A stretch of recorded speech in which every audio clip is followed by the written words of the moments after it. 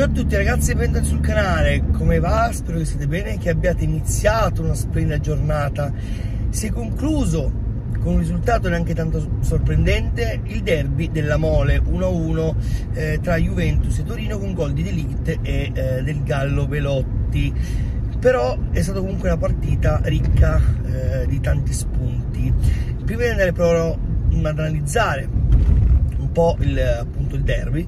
Eh, mi raccomando, lasciate un like al video, iscrivetevi al canale, attivate la campanella delle notifiche per rimanere sempre aggiornati sulle news del canale. Allora, un derby che onestamente è stato molto dalle due facce, eh, molto negativa da parte juventina e molto positiva eh, lato Torino. Partiamo dalla Juventus. Eh, secondo me Allegri ha avuto le sue colpe, perché comunque quando tu già hai eh, Bonucci e Chiellini fuori, non ti puoi permettere, fondamentalmente è Condolino squalificato, non ti puoi permettere di eh, fare, convocare una rosa soltanto con due centrali. Eh, durante il riscaldamento poi si è infortunato anche Rugani, quindi eh, Allegri ha dovuto optare per Alessandro centrale e mm, secondo me la scelta è stata totalmente errata perché comunque tu eh, nonostante Coni De Winter sia infortunato mi rifiuto di credere che non hai un centrale di ruolo che possa sopperire a un non centrale come Alessandro quindi, che ha giocato appunto come centrale adattato che fosse eh, che sia potesse essere stato Riccio, eh, Bikien, Citi, eh, tanti nella Juventus, Muaremovic, altro buon profilo che comunque la Juventus ha, ha, eh, acquistato la scorsa estate, però insomma Allegri ha fatto questa scelta, gioco forza, non gioca Lugani, ha dovuto adattare Alessandro, secondo me questo, eh, questa decisione ha inciso molto negativamente sul discorso della Juventus, perché comunque un Alessandro messo lì già eh, di, di buona dinamicità, di buona velocità, però comunque non ha l'altezza di un centrale, insomma, da quella parte lì giocava Pobega, un giocatore che in primis mi ha fatto piacere insomma, insomma essere schierato come trequartista, eh, teoria che insomma avevo anche portato sul canale, però eh, insomma è stato un po' un mismatch Alessandro contro Pobega.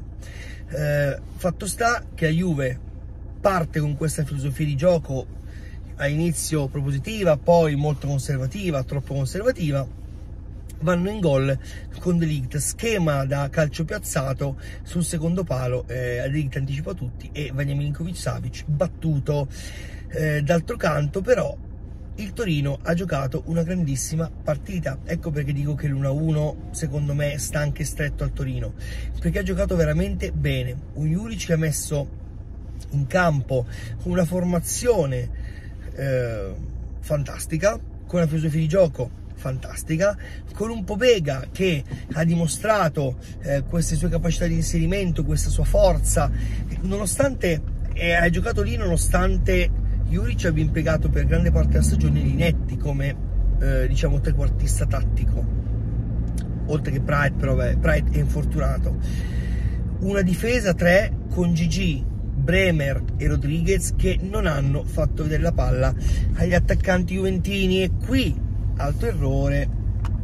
di filosofia tattica, nel senso che comunque tu avevi un Morata, un Dybala e un Vlaovic che tecnicamente sarebbero dovuti andare a uomo sui tre centrali, però dovevi essere a uomo. Se tu poi magari mi fai rientrare Dybala verso il centrocampo a dare un po' fastidio a Mandragora o a Lukic, e eh, lì si viene a creare un'inferiorità numerica dell'attacco juventino un Vlaovic che è un po' in ombra è stato, ancora deve inserirsi, deve migliorare in molti fondamentali, quindi ecco, eh, se tu imbastisci la gara sull'uno contro uno tra gli attaccanti juventini e i centrali del Torino, se poi uno si va a togliere dalla, dalla battaglia per estraniarsi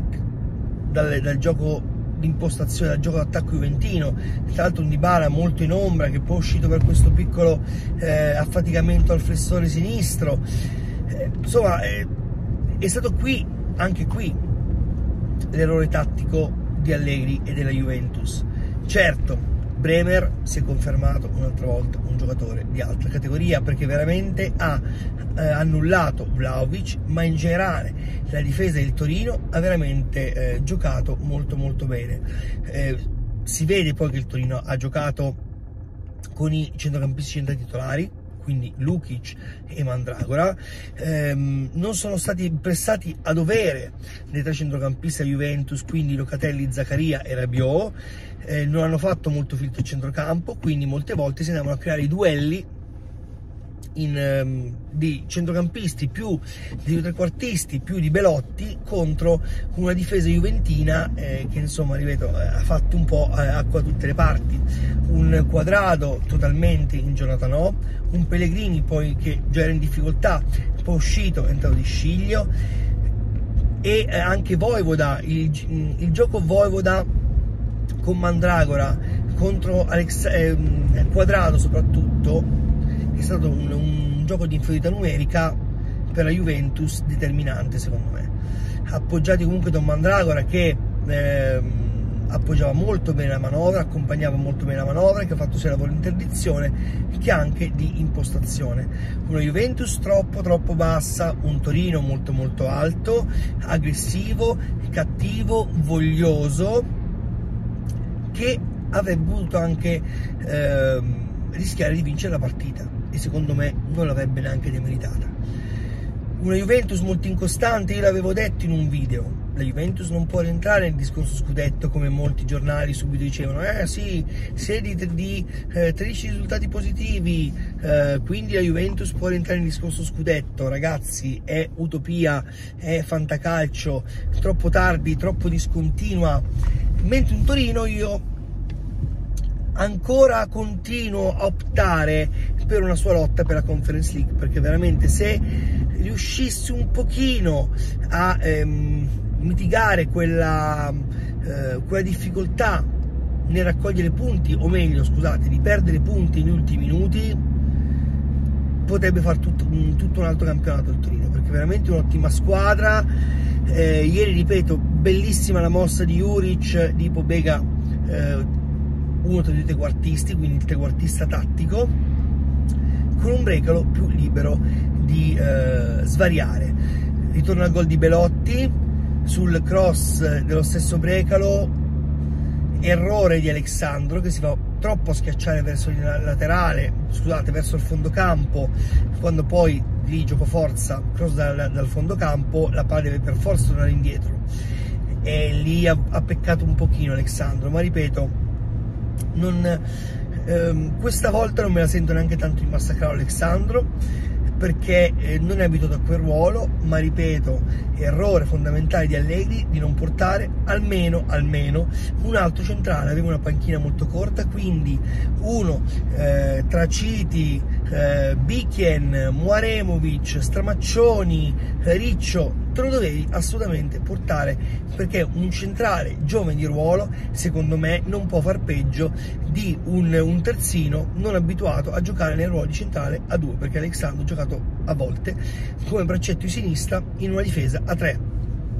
Spero quindi di aver eh, riassunto eh, in modo ottimale la mia visione del, del, derby di ieri. Mi raccomando se il video vi è stato utile lasciate un like al video iscrivetevi al canale la campanellina per rimanere sempre aggiornati sui news del canale. Vi mando un abbraccione e ci vediamo al prossimo video. Ciao ragazzi